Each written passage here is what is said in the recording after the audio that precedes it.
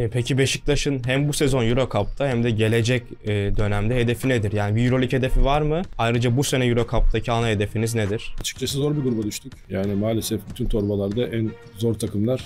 Yani Biraz 10 talihsiz. torbanın, evet en zoru bize geldi. Ama sonuçta bir üst noktayı hedefliyorsanız zaten bu takımlarla oynamak zorundasınız.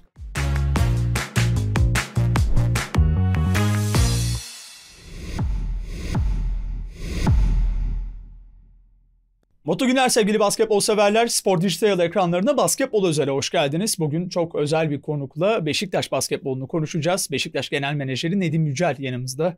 Nedim Yücel hoş geldiniz. Hoş bulduk. Teşekkür ederiz davetimizi kırmadığınız için.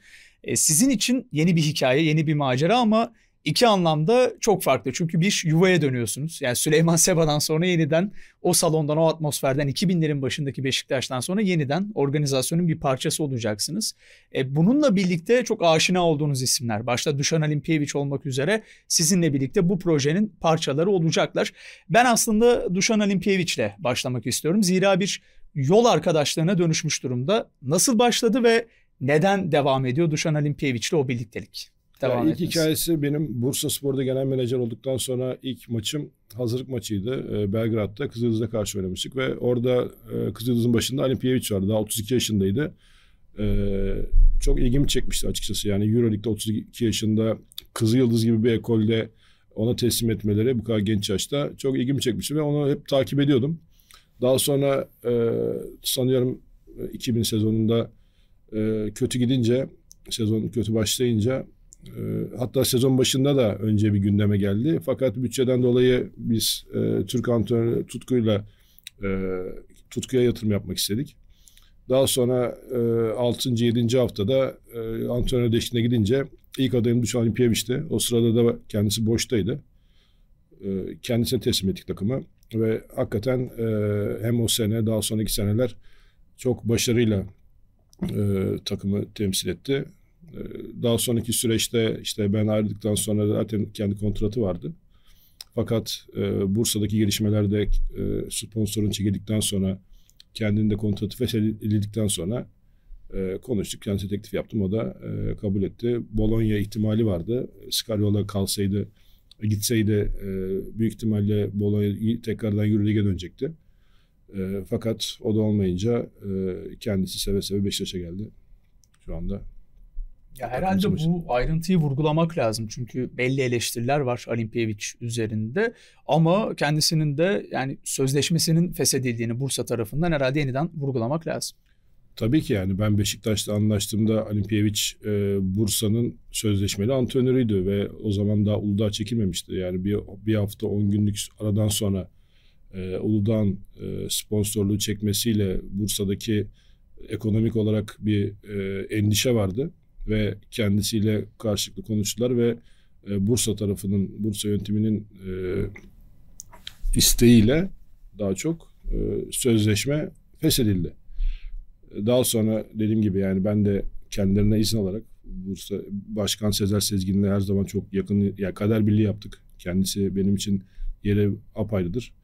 E, kendisini aradım ve izin alarak e, çünkü sonuçta as- aslında baktığınız zaman kontratı olmayan bir antrenördü. O sırada görüştüğüm çok başka antrenörler vardı. Böyle bir gelişme olduktan sonra ben de tabii ki son 3 sene beraber çalıştığım kişiyle e, devam etmek isterim.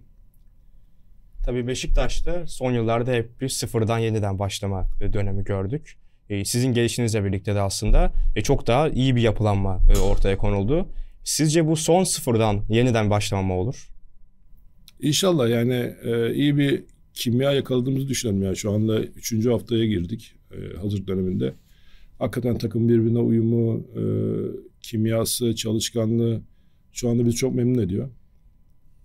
Her sene yeniden bir kadro kurmak e, çok zor.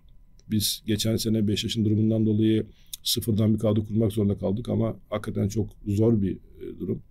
E, tabii ki ne olursa olsun biz iyi bir kimya yakaladığımızı düşünüyoruz ama e, hepsinin de birbirine alışması bir süreç alacaktır. Çünkü sıfırdan bir yeni takım. Yani antrenörü, yardımcı antrenörü, oyuncuları, genel menajeri hep, hep hepimiz sonuçta baktığınız zaman e, yepyeni bir takımız. E, bir süre alacaktır ama bu süreyi inşallah minimumda tutarız. Ben burada Euro tercihini de soracağım. Yani Basketbol Şampiyonlar Ligi'nin özellikle belli bütçelerde bir albenisi vardı takımlar için ama son dönemde o cazibeyi de bir miktar kaybetmiş gözüküyor. Tabii Euro demek bir Euro ihtimalini her zaman canlı tutmak demek. O Euro tercihindeki motivasyonlar neydi sizin için? Ya açıkçası şimdi tabii ki Euro e, en büyük cazibesi diyeyim e, Euroleague hedefi olması. Baktığınız zaman şampiyon olan Euroleague'e gidiyor ki basketbolun en üst noktası. Bu bakımdan e, şimdi Şampiyon Ligi e, statü olarak ligdeki sıralamaya bakıyor. Yani bir geçen sene 14. sırada bitirdiğimiz için zaten Şampiyon Ligi ihtimali ortada yoktu. E, Euro Cup'ta e, tabii sıralamadan daha çok kulübün imajı, e, potansiyeli, taraftarı, şehir bu tip etkenler çok e, belirgin, belirgin oluyor. Ben de son 3 senedir Bursa'nın Bursa Spor'da e, Euro Cup'la iyi ilişkiler içerisindeyiz. E, oradaki e, insanlarla gayet iyi ilişkilerimiz oldu. Gittim, kulübe anlattım, projelerimizi anlattım. Onlar da sağ olsun inandılar bize ve e, Euro Cup e, vizesi verdiler. İnşallah biz onları mahcup etmeyeceğiz. Elimizden geldiği kadar iyi bir takım kurmaya çalıştık dediğim gibi. Euro Cup'ta e, yarışmacı bir takım kurmaya çalıştık. E, peki Beşiktaş'ın hem bu sezon Euro Cup'ta hem de gelecek e, dönemde hedefi nedir? Yani bir Euroleague hedefi var mı? Ayrıca bu sene Euro Cup'taki ana hedefiniz nedir? Açıkçası zor bir gruba düştük. Yani maalesef bütün torbalarda en zor takımlar. Yani Biraz talihsiz. Torbanın, evet en zoru bize geldi. Ama e, sonuçta bir üst nokta hedefliyorsanız zaten bu takımlarla oynamak zorundasınız. Elimizden gene yapacağız. Tabii ki ilk amacımız yeni formatta da e, daha önce biliyorsunuz 8 takım e, playoff'a kalıyordu. Şimdi 6 takım kalıyor. Öncelikle hedefimiz playoff içinde kalmak. Daha sonra gidebildiğimiz kadar üst e, noktaya gitmeye çalışacağız. Bu arada transfer gündemini soracağım ben biraz. Olan isimler var, olmayan isimler var ama genel olarak ben sosyal medyaya da baktığımda Beşiktaş taraftarının heyecanlandığını, tatmin olduğunu ve takımı izlemek için sabırsızlandığını görüyorum. Ama bir de bitmeyen transferler var. Bunlardan biri de Ercan Osmani meselesi. Onunla alakalı bilgi vermek ister misiniz? Ya Ercan Osmani tabii her takımın şu anda e, takımında e, görmek isteyeceği bir oyuncu, milli takım oyuncusu. E, zaten o pozisyonda bildiğiniz gibi Türkiye'de biraz e, alternatif bakımından sıkıntılar var. Bizim de listemizdeydi. Fakat e, tabii bütçe olarak oralara gelemedik. Kendisi de e, Anadolu Efes'le anlaştı. E, onun dışında zaten hemen hemen biz bütün istediğimiz e, transferleri gerçekleştirdik açıkçası. Yani de, tabii ki bütçemiz dahilinde söylemek istiyorum.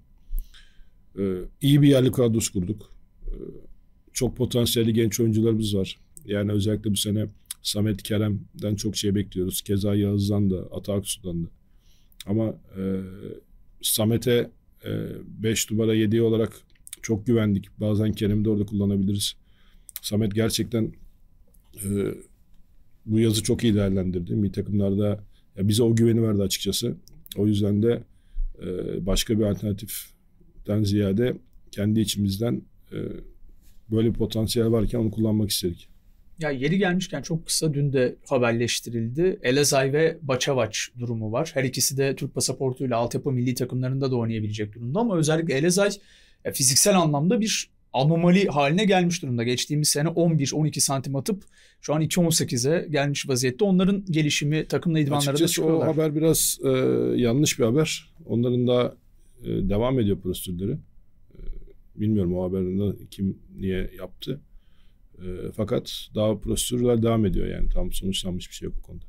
Tabii siz yerlilerden bahsettiniz Nedim Bey. Yabancı oyuncuların e, rolleri e, yerli oyuncularla biraz eşleşiyor. Özellikle oyun devamlılığı anlamında e, koçun buna önem verdiğini düşünüyorum. E, sizin de aslında yerli transferi yaparken gündeminizde bu oldu mu yoksa biraz daha hani popüler oyuncular tercihi mi oldu yerli konusunda? Yok popülerden ziyade yani biz sonuçta sahada iş yapan e, oyuncuya bakıyoruz. Yani popülerliği bizim için her zaman ikinci planda hatta son planda diyebilirim. E, hep e, takımda görmek istediğimiz oyunculardı. Berk olsun, Yiğit Aslan olsun, Egehan Narın olsun, e, Berkan. Berkan Durmaz olsun. Takımda görmek istediğimiz oyunculardı. E, sadece tabii sporcu yani yetenek olarak değil sporcu kişilikleriyle de biz e, bu oyunculardan hep e, dediğim gibi yani bu hem sporcu kişiliği olsun, yeteneği olsun hep e, transfer listemiz olan oyunculardı ve onlar da bize güvendiler, bizi tercih ettiler. Ee, inşallah iki tarafta mahcup olmayacaktır. Ya tabii yerli oyuncular Bursa'da da sizin çok odak noktalarınızdan biriydi. Hatta Onur Alp gibi inanılmaz bir gelişim hikayesi ortaya çıkardınız. Onun tercih hakkında ne düşünüyorsunuz? Euroleague'den de teklifler vardı. Onur Alp hakikaten çok potansiyeli e, yüksek bir oyuncu. Onur Alp ben e, babasıyla zaten takım arkadaşıydım yani çocukluğunu biliyorum, bebekliğini biliyorum. E, çok daha erken aslında buralara gelebilecek bir oyuncuydu. E, fakat bazı ben, bana göre yanlış tercihler yaptı. Sonra potansiyelini e, bizde ortaya koydu. Limiti olmayan bir oyuncu. E, üstüne daha koyacağı çok şey var. Özellikle oyun anlamında yani e, sağ görüş anlamında üstüne koyması gereken e, bazı noktalar var. İnşallah şu anda G'li kontrat aldı ama e, orada kendini gösterip e, NBA'ye bence uzanacağını düşünüyorum. Dediğim gibi o potansiyeli var. İnşallah değerlendirir. Önü çok açık bir oyuncu. Daha çok genç. 99'lu yani e, dediğim gibi limiti yok. Yani en en önemli özelliği üstüne hep bir şey koyabilir. Ya Onur hep buraya geldi diyemezsiniz. Onur Alp'in hep gelişime açık bir durumu var. İnşallah NBA'de bu fırsatı iyi değerlendirir G ve tek NBA'ye uzanır. Biz de onunla gurur duyarız. Koç'la birlikte Derek Needham da Bursa'dan Beşiktaş'ın yolunu tuttu. Needham gerçekten bu proje için e, düşündüğünüz ana oyun kurucu muydu en başta? Ya dediğim gibi yani Derek Needham'ın da sözleşmesi vardı zaten. Ee, Derek Needham'da hiç planlarımız yoktu. Guard bakıyorduk, başka bir guard bakıyorduk. Fakat e, Bursa'daki durumdan dolayı hem Derek Needham'ın kontratı feshedildi hem de Dušan Lipijević kontratı feshedildi. Bu durum ondan sonra gerçekleşti. Geçtiğimiz sezon Beşiktaş'ı ligde tutan oyuncular içerisinde kalmasını istediğiniz ama kalmayan bir isim oldu mu? Ya açıkçası e, yeniden bir yapılanmaya girmek istedik. Tabii ki bir, e, çok katkı veren oyuncular da oldu. E, fakat yani bir tanesini tutup bir tanesini tutmamak yani ben sıfırdan bir takım yaratmanın daha doğru olacağını düşündük. E, şube yönetimiyle Sayın Umut Tahir Güneş ve Barış Dillioğlu'yla. Bakalım yani böyle bir tercih yaptık. Yani yayın öncesinde de konuşuyorduk. Biraz havayı temizlemek istiyorsunuz. Evet, yani, yani Beşiktaş armasının olduğu yerde son 5 sezonda 3 kez ciddi ciddi düşme ihtimali gündeme geldi. Evet. Bu beni rahatsız ediyor dediniz ki çok normal. E, tabii Beşiktaş kadrosuna çok değerli yabancı isimler katıldı. Zaten Derek Needham'dan bahsettik. Matt Mitchell ve Jonah Matthews da çok popüler oyunculardı aslında. E, bu oyuncu tercihleri nasıl gelişti? Özellikle bence Matt Mitchell e, sizin zaten geçmişte de Bursa'da e, sürekli Euroleague'e oyuncu servis etme durumunuz oldu. E, Matt Mitchell da bu isimlerden biri olabilir mi gelecekte? Ya Matt Mitchell zaten e, ya, sanıyorum Ocak veya Şubat ayında bir sakatlık geçirdi. E, o eli elinden bir e, bileğinden bir kırık gerçekleşti. Bence o sakatlık geçmese olmasa büyük ihtimalle Euroleague e, kapısı ona açıktı. E, biz de bu fırsatı değerlendirdik açıkçası çok potansiyelli o da. E, fizik Euroleague fiziğinde yani Euroleague'de her takımın ihtiyacı olan bir fizikte e, çok katkı vereceğini düşünüyorum. Aynı zamanda dediğiniz gibi Matthews da e, sonuçta Euroleague'de 11-12 sayı ortalamasıyla oynayan bir oyuncu. O da çok potansiyelli. Yani şu an dediğim gibi yani yabancı oyuncu konusunda istediğimiz oyuncularla anlaştık diyebilirim yani. Ama tekrar söylüyorum bütçemiz dahilinde. Ben de şeyi sormak istiyordum. Acaba sezon içinde bir hamle için e, bütçe veya öyle bir düşünce, öyle bir tasarruf olur mu? Ya tabii ki sonuçta baktığınız zaman sezon çok uzun. Euro Cup e, çok uzun bir maraton. En az 18 tane maçımız var. Türkiye Ligi bu sene bütün takımlar iyi yatırımlar yaptı, iyi kadro kurdular. Bunun sakatlığı var, formsuzluğu var. Yani sonuçta 6. yabancı hakkımızı kullanabiliriz böyle bir durumda. E, Leighton Evans'ın sakatlık durumuyla alakalı bir güncelleme var mı? Yok zaten sezon... E, sezon sonuna sağlam girdi yani Hı-hı. son 2-3 hafta sağlamdı. E, fakat oradaki yani Gaziantep o sırada diğer oyuncuyu oynatmayı tercih etti. Çünkü o sakatlıktan çıkmıştı ve de yani e, çok onun hayati önemli maçları vardı. E, yazın da onu takip ettik. Sakatlık durumuyla alakalı bilgi aldık. Şu anda geldiği zaman da kontrol ettik. Şu anda herhangi bir sıkıntısı yok. E, tabii bu sonuçta spor yani. Yani bir gün ne olacağı belli olmaz. Fakat e, geçen seneki sakatlığıyla şu anda herhangi bir sorun yok. E, Dominik'te Dünya Kupası'nda bir tarih yazıyor. Towns evet. liderliğinde ve Delgado da oranın bir parçası. Onu izleme fırsatı bulabildiniz mi bu maçlarda? Tabii ki izliyoruz. Yani e, öncelikle şu andaki Avrupa pazarında yani G Lig'in kadroların genişlemesi, NBA'in kadronun genişlemesi, Asya'nın işin içine girmesi, inanılmaz paralar e, harcaması marketi çok daralttı. Yani özellikle guard pozisyonunda bir numarada, beş numarada büyük sıkıntı yaşanıyor yani oyuncu bulma konusundan. Delgado bence bu bakımdan çok çok değerli bir oyuncu. Sonuçta Türkiye Ligi'nde geçen sene final oynadı. Aynı zamanda Hammonds'la yani 4 numara pozisyonda da sıkıntı var. Hammonds'la e, geçen sene Antep'teki işte maalesef depremin yaşanması, o tip e, sorunlarla boğuşulması Antep'te bence kendini gösteremedi ama Hammonds'la iyi bir potansiyel. Bakalım. Ya Matt Mitchell özellikle beni en çok heyecanlandıran transferlerden biri oldu. Yani belki biraz üçlük yüzdesiyle alakalı o gelişimi ortaya koyamadı ama onun dışında Strasbourg'la ben burada bir Tofaş maçı hatırlıyorum. Evet. Çıplak gözle izlemiştim. Birçok öyle maçı var. Ya, Kolejden Kolej, zaten. Ya, San Diego State Şöyle hocayla beraber bu transferleri yaparken mesela yani Matt Mitchell'ı aldık ama biz Matt Mitchell'ı e, Matthews'la anlaştığımız için aldık. Yani Matthews anlaşamasak o zaman başka böyle 3 numara daha potansiyelli bir skor yükü e, daha fazla olan bir oyuncu alıp 2 numaraya daha fazla yani kimyaya uygun bütün oyuncuları o bakımdan diyorum yani e, baktığınız zaman hep tercihlerimizde hep birinci tercihlerimizi aldık sayılır yani. Şu oyuncu iyi bunu alalım, bu oyuncu iyi bunu alalımdan ziyade işte bir numara buysa iki numarayı bunu almamız gerekiyor. İki numara işte Matthews oldu. Üç numara daha böyle mücadeleci bir oyuncu Mitchell. O bakımdan şanslı geçirdik diyebilirim. Ki o konuda bence Bursa'da inanılmaz iş çıkarmıştınız. Yani, Mesela Dujinski evet. tam bir puzzle parçası. Yani her yerde bir yama yapmıştı Bursa'da. Yani del, içeride Delgado'yu almışken mesela dört numarada daha şutu olan bir evet. oyuncuyu tercih etmemiz gerekiyordu. Başka bir alternatif vardı. E, Delgado olduğu için Hammonds'ı aldık. Daha ona Delgado'yu alan açma bakımından. Bakalım. Delgado konusunda ben şunu sormak istiyorum. Tabii ki muazzam bir reboundçu Delgado. Evet. Geçen sene Ufuk Hoca'nın da aslında özellikle pas dağıtım anlamında ona ekstra kattıklarını gördük. Ama sanki Koç için Bursa'da çalışmadığı tipte bir uzun profili. Orada biraz daha mobil uzunlar tercih ediyordu koç. E burada koçun tercihi mi oldu Delgado direkt olarak? Ya tabii ki yani koçla beraber tercihimiz oldu. Çünkü e, o sırada biz kısa rotasyonu tamamlamıştık. Yani kısa rotasyonumuz gerçekten Türk oyuncularda çok potansiyel yani skor potansiyeli yüksek bir kısa rotasyonu gerçekleştirdik. O yüzden 5 numarada bizim illa gelsin post-up'tan 15-20 sayı atsın öyle bir oyuncu ihtiyacımız yoktu. Yani orada daha çok rebound alacak, yer kaplayacak bir oyuncu ihtiyacımız vardı. Bence Delgado da bu profile uygun bir oyuncu. Tabii rebound demişken biraz Nedim Yücel'in kariyerine de ben dönmek istiyorum. Az önce de konuştuk yayın öncesinde.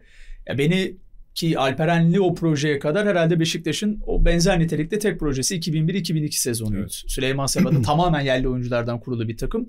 Ülker'e karşı da tarihi bir playoff galibiyeti vardı ki o günkü atmosferi ben böyle TRT 2 ekranlarından bir çocuk Benim olarak... Şu an hala diken diken oluyor. Yani. yani. İnanılmaz bir salondu yani tribün yok pankartlar bile neredeyse parke hizasında ama evet. boğucu o günler nasıl hatırlarsınız? Sezon başlarken e, küme düşme kalkmıştı. E, o yüzden Türk Türkiye ve Tuborg kapanmıştı. E, Tuborg'daki genç oyuncular e, Beşiktaş'a da, kadrosuna dahil oldu. E, küme düşmenin de ver, küme düşmenin kalkmasının da verdiği bir e, rahatlık mı diyeyim yani e, o imkanla Türk Türkiye sadece genç oyuncular hepimiz 20-21 yaşındaydık. Faruk Beşok kaptan olarak e, takımda vardı galibiyet almasanız bile olur diyorlardı. Çünkü hakikaten çok önemli bir projeydi. Fakat biz e, yaklaşık herhalde bir 10-12 galibiyet aldık ve 8, yanılmıyorsam 8. sıradan playoff'a girdik. Müthiş bir kimya vardı. E, müthiş bir arkadaşlık vardı. Bu da sahaya yansıyordu. Dediğiniz gibi yani Ülker o sene müthiş bir kadroydu. E, playoff'ta onları yenmiştik. Yani kök söktürdük onları e, çeyrek finalde. Daha sonra maalesef o kadro e, dağıldı. Keşke dağılmasaydı. Yani yaklaşık herhalde bir 7-8 sene iyi yabancı takviyeleriyle e, Beşiktaş'ı hep yukarılarda tutabilirdik diye düşünüyorum o kadroyla. Tabii biraz önce Tuborg'un kapanmasından bahsettiniz. Aslında yakın geçmişte de işte Banvit'in e, kapanma evet. durumu oldu. e, bir basketbol yöneticisi olarak Banvit'in kapanmasını sormak istiyorum. Yani bu altyapı sürecini nasıl etkileyecek gelecek dönemde? Ve işte orada nasıl gidiyoruz aslında altyapı e, olarak? Ve tabii e, Banvit'ten ayrılan oyuncuların Bursa ihtimali de o dönem yazıldı biraz. O süreç nasıl oldu? Ben e, o dönemde önce U17'nin genel menajeriydim. Sonra U20'nin genel menajerliğini yaptım. Bu oyuncuların hepsi benim oyuncumdu. E, çok beğeniyordum. Gerçekten hayrandım hepsine. Ve Bambit kapandığında e, Bursa'ya almak için çok uğraştım açıkçası.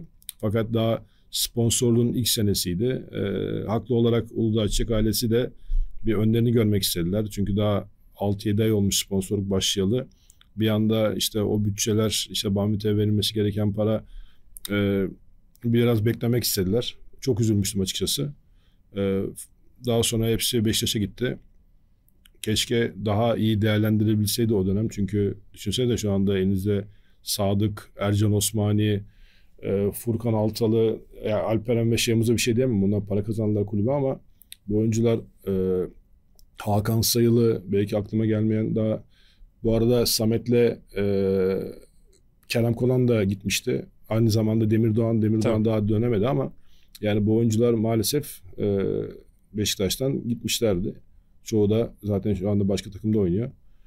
E, önümüzdeki herhalde uzun bir süre hiçbir yerli takviyesi yapmadan devam edilebilirdi.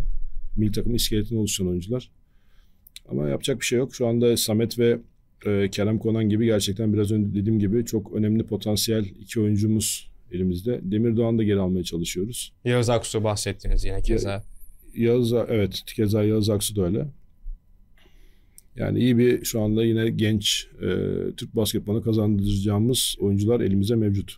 Ya mevcut kur yapısı ve ekonomik durumlar sebebiyle uzun vadeli konuşmak zor ki Bursa cephesinde de biraz emrivaki bir durum geliştiğini biliyoruz ama Beşiktaş tarafında en azından orta vadede yani 1-2 yıl değil de 4, 5, 6 yıllık bir vadede ki Bursa'da da yaklaşık o kadar çalıştınız.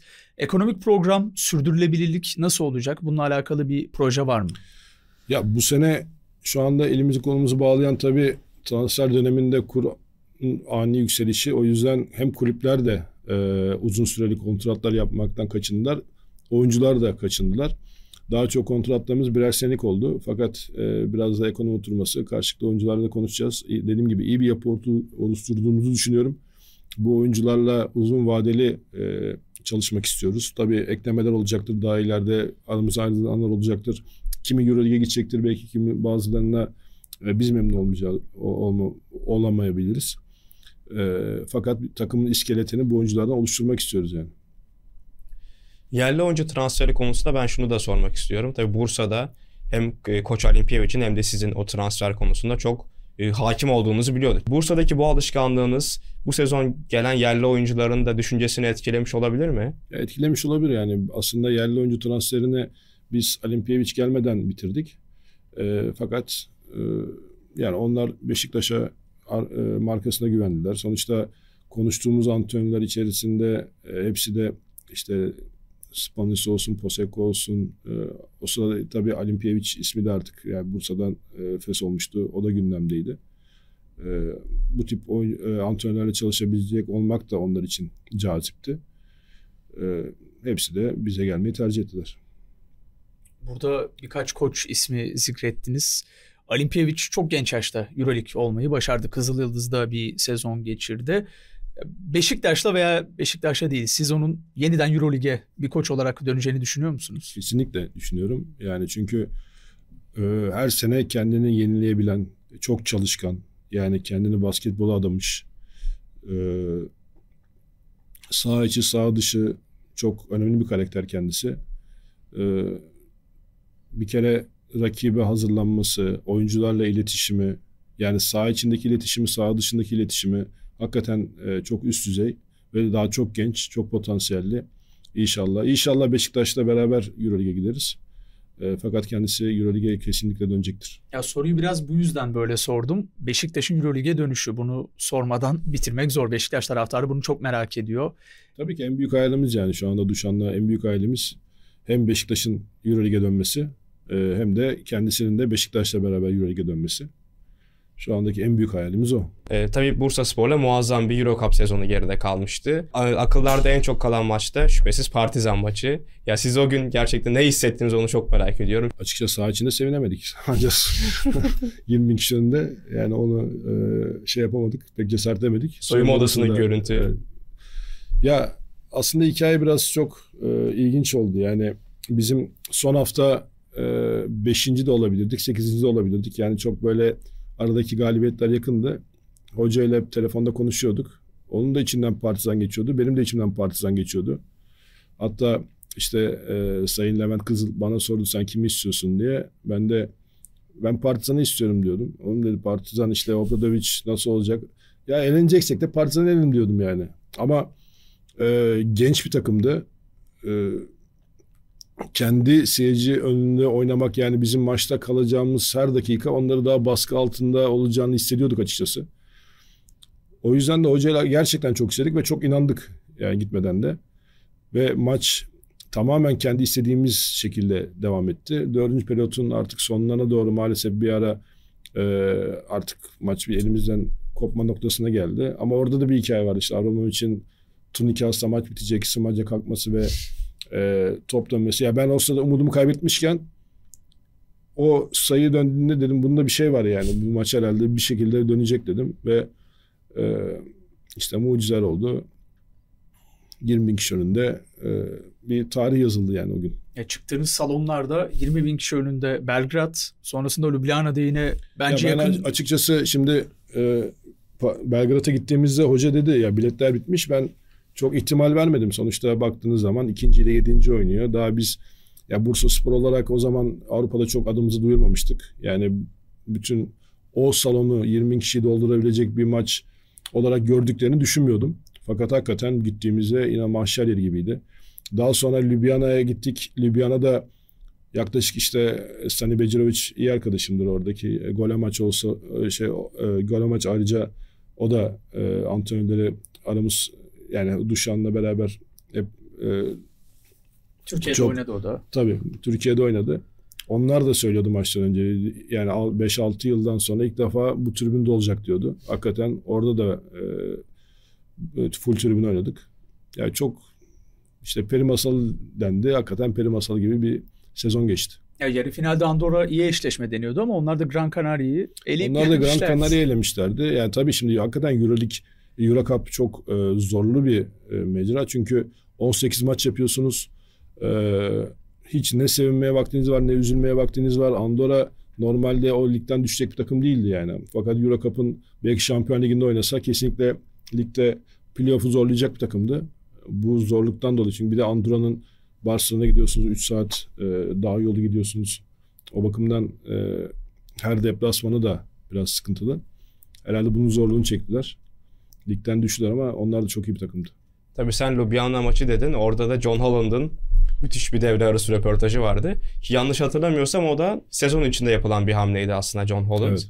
Yani o tip bir hamlenin de ne kadar iyi etki ettiğini görmüş olduk Ki, takıma. Tam onu soracağım aslında. Derek Freeman'ın CSK'ya transferinden sonra herkes ikinci bir yabancı top yönlendirici bekliyordu ama siz Onur Alp'e topu teslim edip e, Can Alond'la farklı bir profile gittiniz. O karar süreci nasıl oldu sizin ya, için? O sezon dediğim gibi yani hakikaten peri masalı gibi bir sezondu çünkü içinde çok fazla hikaye barındırıyor. Yani ocağın başında e, doların 8'den bir anda 18'e çıkması sonuçta biz kendi ayaklarımızı üzerinde duran bir şubeydik. Yani e, her yapılan harcamanın e, yani kuruşun hesabı yapılıyordu açıkçası.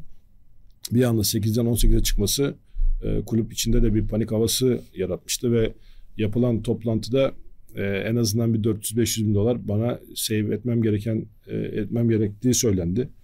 İşte takımın en pahalı yabancı oyuncusu Alec Freeman'ı CSK'ya yolladık. Egemen Efes'e gitti. Anthony Brown'la e, yollarımızı ayırdık ve böylece 400-500 bin dolarlık e, bir save etmiş olduk. Tabii o sırada acaba takım küme mi düşecek? O şeyler de aslında e, camiada düşünüldü. Fakat bir anda eksildikçe çoğaldık açıkçası. Tolga vardı. Tolga'nın sakatlığından sonra biz John Holland'ı alma zor, e, durumunda kaldık. Dediğim gibi eksildikçe çoğaldık, e, çoğaldık takım birbirine kenetlendi ve e, bambaşka bir hikaye oldu. Devre arası röportajını biz maçtan sonra gördük tabii. Önce maç sonrası röportaj zannettik. Çünkü devre arasında da böyle bir yani zaten bu röportaja inanamadık. Devre arası olduğuna için inanamadık. Yani Holland çok renkli bir kişilikti. Takıma çok ayrı bir hava kattı. Onu da yola çıktık.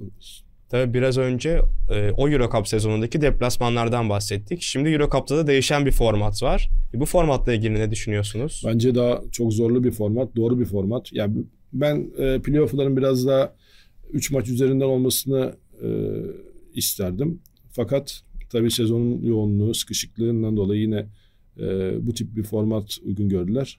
Ama çok daha zorlu ve rekabetçi bir format olacak. Peki finalin tek maç olması sizce nasıl? Ya da e, Bursa Bologna finali bir seri olsaydı sonuç farklı olabilir miydi? Açıkçası farklı olacağını düşünmüyorum. Ee, tamam oraya kadar geldik ama bir gerçek var. Yani çünkü karşımızdaki takımda Bologna rüya gibi bir takımdı. Ee, bir Teodos için yarı fiyatına bizim baktığınız zaman takım kurulmuştu. Yani bir de bir, tabii sezon ortası Hackett, Şengel ya. Tabii Hackett, Şengel ile geldi. Ee, Euroleague'e tamamen kafayı koymuşlardı Euroleague'de oynamaya. Ee, bizim de gücümüz tabii ki bir yere kadar yani kadro rotasyonu 6-7 kişiyle oynayabiliyorduk. Onlar 12 tane oynayabileceği oyuncu vardı. Özellikle yani tek maçta belki yenebilirsiniz ama 3 maç üzerine oynansa daha da işimiz zor olurdu açıkçası. Ya bence Needham ve Hayes'in foul problemi olmasaydı Tabii ki yani tek bütün, maç, yani maç idealdi. içinde kaldık yani. Bizim Bologna'yı yenmemiz için işte Partizan gibi tek maç üzerinden e, maalesef dediğin gibi yani Needham ve Hayes'i çok erken e, faal ettiler diyeyim. Çünkü hak etmediği birkaç tane faal çalındı. E, anca o şekilde tek maç üzerinde yenebilirdik ama seri uzasa e, geniş kadrosuyla tabii Bologna karşısında şansımız daha azalırdı. Tabii o devre arası röportajı dedik. Artık yavaş yavaş kapatırken onu da soracağım. Orada Holland underdog istiyordu. Yani favori değiliz diyordu. Şu Beşiktaş takımına baktığınızda Euro Cup'ta ve ligde kendinizi bir güç sıralamasında yaklaşık olarak nerede görüyorsunuz? Vallahi güzel soru. ya tabii ki çok erken e, evet. konuşmak için. Daha bir hazırlık maçı bile yapmadık. Fakat dediğim gibi şu anda kurduğumuz kadrodan memnunuz. E, tabii ki mütevazi baktığımız zaman yani çok Euroleague'de bizden, Euro Cup'ta bizden çok daha yüksek bütçe takımlar var. Keza Türkiye Ligi'nde de çok daha yüksek bütçe takımlar var. Ama e, sonuçta takım kimyası, takım kurgusu burada önemli. Biz elimizden geleni yapacağız yukarılarda yer almak için. O zaman e, biz de sizlere yeni sezonda başarılar dileyelim. Çok teşekkür ederim. Ayrıca bizi kırmadığınız için de e, çok teşekkür ederiz. O zaman biz de basketbol özeli Spor Dijital ekranlarında kapatıyoruz. Sevgili Nedim Yücel konuğumuzdu yeniden çok teşekkür ediyoruz. Ben Görüşmek teşekkür üzere. Hoşçakalın.